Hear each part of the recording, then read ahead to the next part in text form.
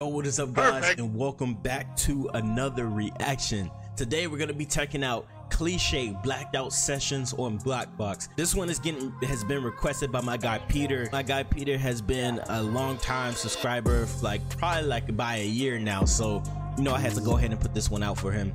All my reactions are usually live on Twitch, so if you guys want to follow me up on Twitch and see if you can catch a, rea a reaction live, just go ahead and follow the link down in the description. All right, talk to me. He said he don't rap cap. He been in jail for like 10 years. That's crazy. Let's go. 12 years behind the door, you know. mm. I remember them days, couple years back, cool enough in the soul. Get ah, me, trust me thinking, talking about to stay here, fam. You get me, fam. But one thing first, though, blood. You know when you come out here, you fuck up the music. Fam, I've never been a one for no loose lips. I remember getting spun, feeling stupid. Hmm. For 12 years, I've been locked, see the blueprint. I'm verified in these jails with my blue tick. So much pain, I'm like, God, why'd you do this? Car I never took his life, and that's true shit. But they still give me life in these units. I lost my life in the Bailey as a school kid. I say a prayer for them youths that I'll beat up. I roll them B cats calm with my feet up. I'm in a C cat dog getting peas up. I need a D cat boss and a reefer so I can smoke that straight to the halo. Come on, talk your stuff. They put Nanny by the gravestone. I wasn't there when my mommy had that chemo. So much stress in my heart will I see road. People always say they'll visit, I don't see them.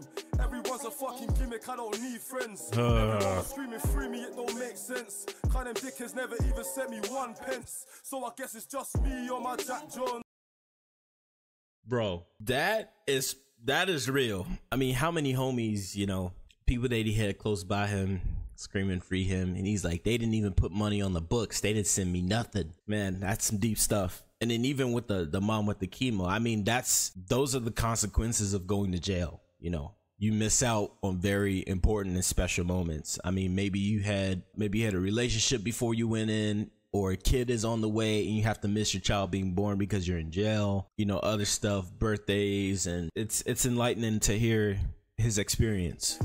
Screaming free make sense. Kind of dickheads never even sent me one pence. So I guess it's just me or my Jack Jones. Now I've got to stay trappy till I land road. I can't tell you about cash and a trap phone.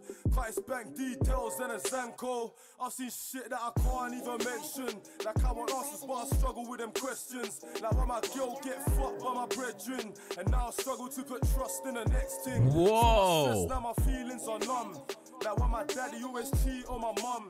He made her feel insecure and it's wrong. When she had cancer to cure it was long. Look, so many questions I'm speaking with God. Like when my ex go leave in a rush. Like when my ex go breathe for a mug.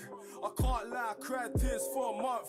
But that's life, you had to take it on the chin. Look, they gave me life, I had to take it on the chin. Look, so nowadays I'm a. Wait, they gave him life? What exactly did he do? If y'all let me know in the comments. What exactly did he do? I know it was mentioned in the comment section he went to jail for 10 years, but not exactly, I didn't really get a reason. He said they gave him life. So I wonder how he how he ended up getting out. Look, they gave me life, I had to take it on the chin. Look, so nowadays I'm reflecting on the wing. Dog, I can't lie, I'm respected on the wing. Uh, dog, I've had days that I didn't really wanna live. And dog, I've had days when I was rolling with my shiv. Uh, looking for excuses, cause I was feeling pissed. And if that nigga move quick, that nigga's getting ching. But fuck with a negative, I stay with a positive. Every time I lose a relative, I can't stomach it. Every time I'm sitting down, I block mommy's worrying. Every time I jump on a beat, beat, man, I body it. Every time I jump on a beat, man, I body it. Fans in my DM say I'm sick like I'm vomiting. Friends wanna pre, but they never wanna sponsor it. Girls say they wait, but these hoes always waffling. Girls say they wait, but these hoes always waffling. There's stress on my plate, and there's no way you're stopping it. Like they said, I've got a big bird like them ostriches. Kidnapped by feds and in jail with them hostages. Kidnapped by feds and in jail with them hostages. That was real. The experiences what he's experienced by going to jail and the things that has happened to him since then. That, that's just the sad reality of it, man. That's that's the sad reality of it. And there's one part that he said that actually caught my attention. This this part right here, he said I was rolling with my shiv looking for excuses.